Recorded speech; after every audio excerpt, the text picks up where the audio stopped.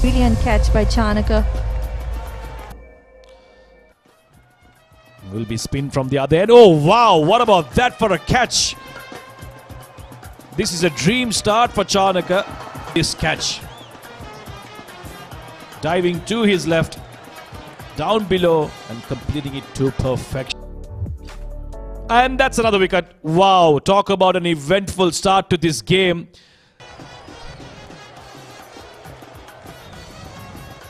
Ooh, that took some turn, and in fact, he's hit it straight to the stumps. Wow, have we not seen everything? Chanaka getting three of them. Jumps forward, hits it straight up in the air. Will the fielder get under it? It looks like he's setting himself up, and yes, that's another wicket.